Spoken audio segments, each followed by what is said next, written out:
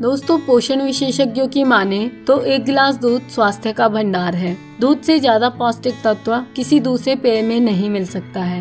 Calcium, protein, carbohydrate, vitamin, खनिज और वसा जैसे पोषक तत्वों से भरपूर ये पेय हमारे शरीर के विकास और वृद्धि के लिए अत्यंत महत्वपूर्ण है।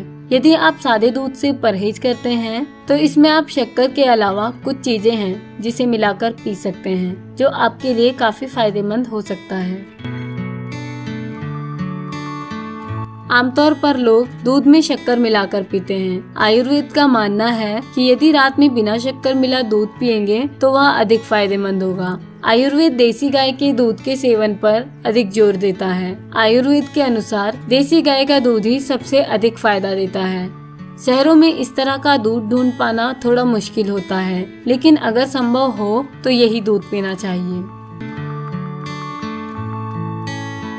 इन दिनों हमारी जीवन शैली ऐसी है कि हम हर चीज़ पैकेट वाली इस्तेमाल करने लगे हैं। दूध भी अधिकतर लोग पैकेट वाला ही लेते हैं। पैकेट वाला दूध न ताज़ा होता है और न ही जैविक। आयुर्वेद के अनुसार ताज़ा, जैविक और बिना हार्मोन की मिलावट वाला दूध सबसे अच्छा होता है। पैकेट में मिलने वाला दूध नहीं पीना चाहिए। कुछ लोगों को कच्चा दूध अच्छा लगता है। फ्रिज से दूध निकालकर बिना उबाले सीधे ही पी जाना सेहत के लिए अच्छा नहीं माना जाता।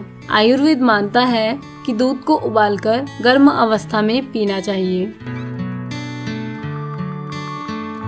दूध पीने में भारी लग रहा हो तो उसमें थोड़ा पानी मिलाया जा सकता है। ऐसा दूध आसानी से पच भी जाता है। जिन लोगों को दूध हजम नहीं होता, उनके लिए दूध पीने का एक और तरीका है। दूध में एक चुटकी अदरक, लौंग, इलायची, केसर, दालचीनी और जायफल आदि को मिलाएँ। इससे आपके पेट में अतिरिक्त गर्मी बढ़ेगी, जिसकी मदद से दूध हजम होने में आसानी मिलेगी अक्सर किसी न किसी वजह से हम रात का खाना नहीं खा पाते आयुर्वेद के अनुसार, ऐसी स्थिति में एक चुटकी जायफल और केसर डालकर दूध पी लें। इससे नींद भी अच्छी आती है और साथ ही शरीर को ऊर्जा भी प्राप्त हो जाती है अगली बार से जब रात का खाना ना खाएँ तो इस तरह का दूध पी सकते हैं।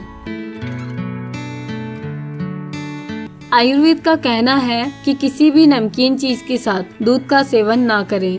क्रीम सूप या फिर चीज़ को नमक के साथ ना खाएँ। दूध के साथ खट्टे फल भी नहीं खाने चाहिए। आमतौर पर दूध इन चीज़ों के साथ मिलकर रिएक्शन कर जाता है। ये बात आपने कई बार सुनी होगी कि दूध के साथ मछली का सेवन नहीं करना चाहिए। आयुर्वेद का मानना है कि यदि दूध और मछली का सेवन एक वक्त पर किया जाए तो इससे त्वचा खराब हो जाती है। त्वचा पर सफ़ेद व भूरे धब्बे उभरने लगते हैं।